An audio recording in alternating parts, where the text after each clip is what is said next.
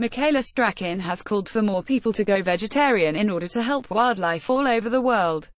The British TV presenter, who is famous for her work on nature programs for four decades, has been meat-free for many years after realizing it was better for the environment to follow a diet which didn't include meat products, and better for her health.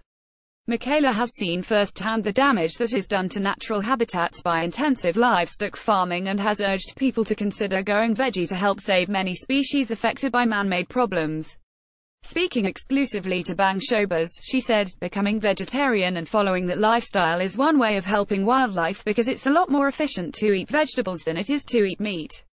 You don't need the same amount of land to give you the same amount of food you'd get if you were growing crops compared to if you were rearing livestock. If we all are more vegetables and less meat then we'd have a lot more land available for wildlife. You look at so many farms, they're monoculture farms, they don't grow anything but one thing. I always find it interesting when people are on a hilltop and look down and have a view of farmland and they'll say, what a gorgeous view. And I look at it and think, what a depressing view.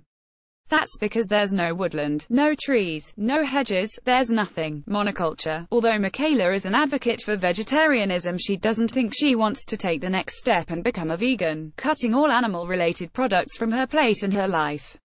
The Springwatch presenter believes that it is a too radical a step for most people and she personally is happy at where she has drawn her line with her commitment to vegetarianism.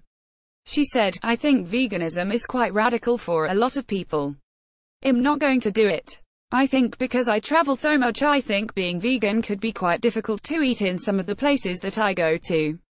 I'm actually happy with where I've drawn my line at the moment. That might change, but I'm happy now. Michaela is currently working with charity Kiwis for Kiwi and Old Mout Cider on a campaign to save New Zealand's indigenous kiwi bird from possible extinction. The kiwi population has declined by 99% over the past 50 years and it could die out in the next 50 if its plight is not addressed. Michaela is supporting a scheme to make predator-free islands to protect the flightless bird and help numbers grow and has made a short documentary film called The Forgotten World, which shows her traveling to New Zealand's Kapiti Island, an isolated sanctuary for the birds who have lived for 50 million years. The public can join Michaela's Kiwi Crusade by visiting oldmoutcider.co.uk slash help save the kiwi to donate 20p to the cause.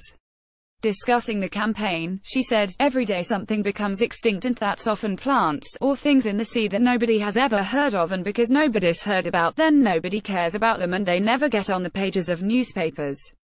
But when it's an iconic species that's when people wake up and if we can save animals like the kiwi then we're saving a lot of other animals as well because you're saving the environment that all the wildlife lives in.